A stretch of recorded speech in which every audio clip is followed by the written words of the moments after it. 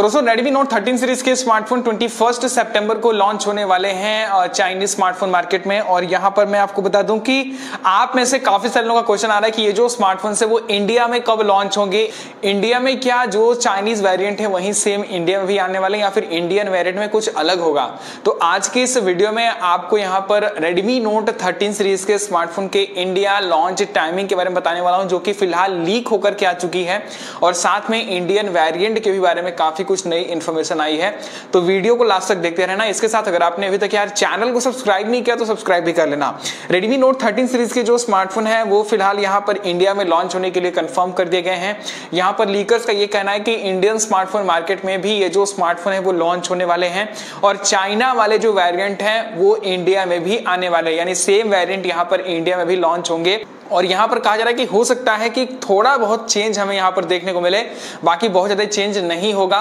Redmi Note 13 जो है, वो अपने सेम मॉडल नंबर और सेम सारी चीज़ों के साथ में काफ़ी सारी और भी सर्टिफिकेशन साइट्स पर ऑनलाइन सर्टिफाई हो रहा है, जिससे ये कंफर्म हो जाता है कि चाइना वाला वेरियंट ही और भी जगहों पर लॉन्च होने वाला है इंक्लूडिंग इंडिया अगर बात करें इन स्मार्टफ़ोन के इंडिया लॉन्च के बारे में कि ये जो स्मार्टफ़ोन है, वो यहाँ पर इंडिया में कब लॉन्च होंगे तो यहाँ पर यह कहा जा रहा है कि रेडमी नोट थर्टीन सीरीज़ के जो स्मार्ट स्मार्टफोन्स हैं, वो नवंबर या फिर दिसंबर के महीने में इंडियन स्मार्टफ़ोन मार्केट में लॉन्च होने वाले हैं। यानी ये जो स्मार्टफ़ोन है, वो सितंबर में ही लॉन्च हो जाएँगे चाइना में और उसके बाद में अक्टूबर और नवंबर, यानी दिवाली वगैरह के टाइम पे ये जो स्मार्टफ़ोन है, वो यहाँ पर इंडियन स्मार्टफ़ोन मार्केट में हमें देखने को मिल सकते हैं। ऐसा पूरा चांस बन रहा है और ये फ़िलहाल एक लीक है। यानी लॉन्च इससे पहले भी हो सकता है। हो सकता है अक्टूबर में ही लॉन्च हो जाए।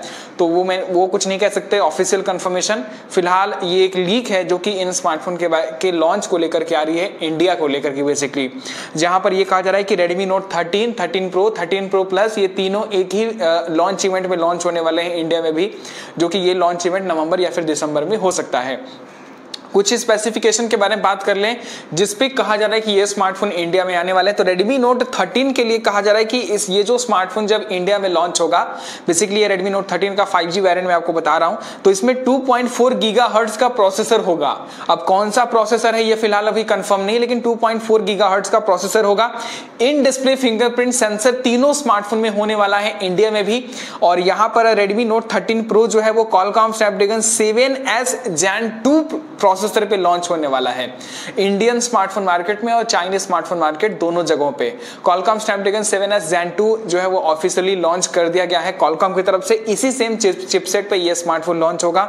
साथ में Redmi Note 13 Pro Plus 5G जो स्मार्टफ़ोन है, वो यहाँ पर मीडियाटेक डायमेंसिटी 7200 अल्ट्रा के साथ में चाइना में और यहाँ पर इंडियन स्मार्टफ़ोन मार्केट में भी लॉन्च होने वाला है।